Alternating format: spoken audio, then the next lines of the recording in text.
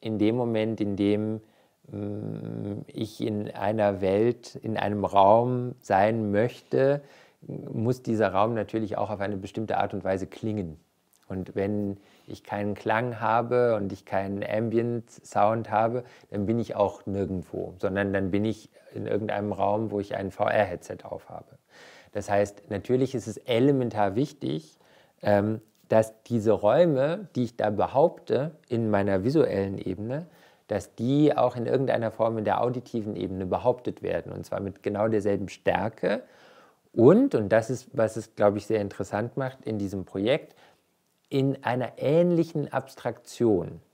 Das heißt, dass man einerseits mit sehr konkreter Semantik ähm, arbeitet, also sehr, sehr Bilder, die man von irgendwoher kennt, wo man sagt, ah, das sieht so aus wie, weiß gerade nicht, aber ich glaube, ich weiß, wie das aussieht.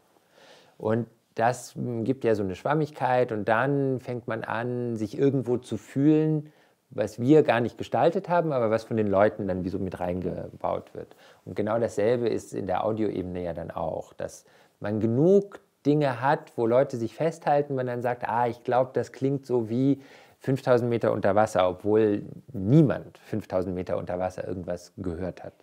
Also vom Sound her habe ich ähm, einerseits die analogen ähm, Geräte, die wir angeschlossen haben, diese Quartzbox, andererseits das Aquarium, äh, hier mal Sounds gecaptured, ähm, die dann die können dann auch eingebaut werden. Ähm, andererseits arbeite ich auch, dass ich eben dieses Setup als Bild capture und dann ähm, daraus den Sound aus dem Bild generiere. Mhm. Ähm, und wozu dient es? Es soll die Immersion verstärken und ähm, soll authentisch dem Stück gegenüber sein, um den Viewer noch mehr in die Welt reinzuziehen. Wir hatten äh, mit äh, Christian auch darüber gesprochen, dass es viele verschiedene Arten von Mischungen und Sounds gibt und jetzt auch im technischen Bereich auch nochmal vorbereitet. Eine der Dinge, die wir gemacht haben oder ausprobieren wollten, ist, dass die Sequenzierung der Einzelbilder damit zu tun hat, wie schnell ich mich bewege in der VR. Und das könnte natürlich auch mit dem Sound gemischt werden, dass man erstmal sagt, die ähm, Lautstärken haben damit zu tun, wie schnell ich mich bewege. Also nicht, dass alles immer nur laut oder leise wird, aber dass diese Art von sinnlichem Stress vielleicht tatsächlich durch die Spielerin reguliert werden kann, die dann das Headset aufhat. Und ich glaube, da spielt der Sound genauso eine Rolle. Aber es klingt für mich, wie wenn man ein Mikrofon durch den Wind ziehen würde, was ja auch Sinn macht, wenn man sich den Kopf schnell bewegt und es ist windig draußen oder so. Und genauso äh, klingt es bisher für mich, wenn man den Kopf dreht. Und das äh, erzeugt eigentlich eine ganz schöne Form von, von Realität. Also wenn ich den Kopf drehe, habe ich wirklich das Gefühl, ja, da ist es irgendwie, ich bin in einem Raum, wo Wind ist, wo, äh, wo Luft ist und ich drehe meinen Kopf. Ähm, wie genau das dann mit den visuellen oder mit den Loops zusammenspielen wird, das weiß ich noch nicht, ob, die, ob zum Beispiel das, Displacement noch vertont werden soll oder die einzelnen Animationsloops. Was auf jeden Fall ja noch kommen wird, das ist das Interview. Und das wird eigentlich dann so stattfinden, dass wir die, die Soundfiles vorher haben und da dazu dann animieren. Und dann glaube ich, dass auch noch versucht werden wird, das Interview in diese virtuelle Welt einzubetten. Das heißt, dass man im Hintergrund wahrscheinlich dann eventuell Maschinengeräusche oder irgendwie auch Windgeräusche oder von, von einem Berg Steingeröll oder sowas in die Richtung hören wird.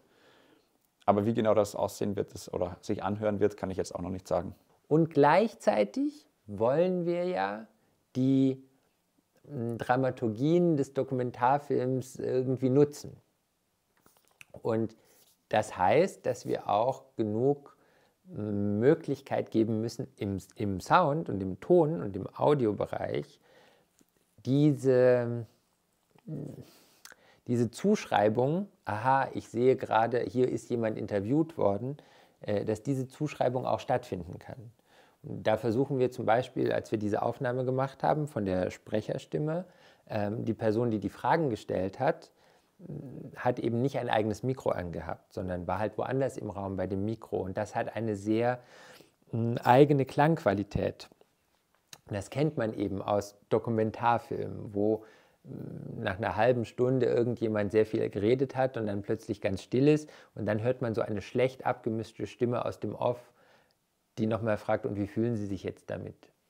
Und das, das hat aber eine ganz andere Klangqualität und dann weiß man sofort, ah, das wird die Redakteurin sein oder der Redakteur oder wie auch immer. Und das wollen wir, glaube ich, benutzen. Das ist ja wie so eine Art Zeiger, dass das ein Dokumentarfilm ist.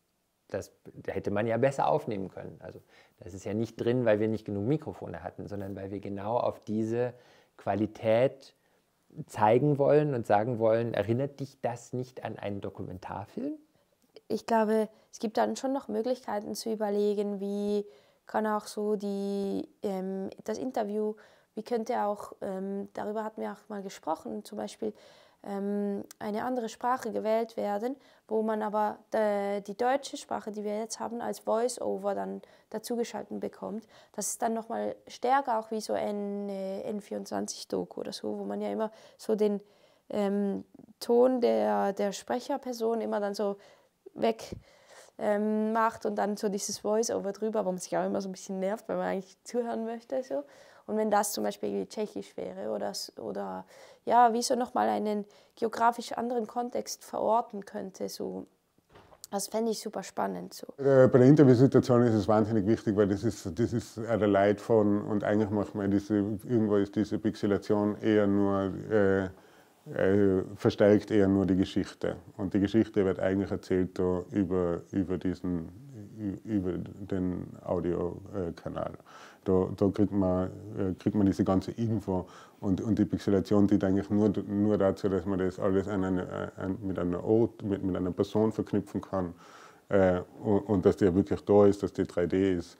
Äh, das ist, ist du, du, unterstützt eher das Bild Audio und in, in die Räume, die, die, wir gebaut haben, ist es eigentlich genau umgekehrt.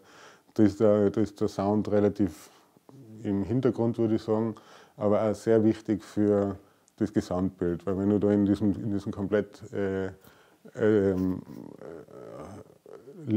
leisen oder überhaupt äh, komplett stillen VR-Räumen stehst und, das, und alles ist perfekt generiert und äh, du kannst mit, mit nichts connecten. Und jetzt ist es ja so, dass du auch mit, auch mit deiner Kopfbewegung wieder den Sound steuerst. Das heißt, du bist auch wieder in Kontrolle, ähm, was du eigentlich hörst, bis zu einem gewissen Grad. Und das ist schon sehr wichtig, äh, um den Raum wahrzunehmen, um in die richtige Stimmung zu kommen, äh, sowohl bei der, bei der Dokumentation als auch in diese Räume. Das, der Sound ist immer extrem wichtig und das sieht man einfach da auch wieder.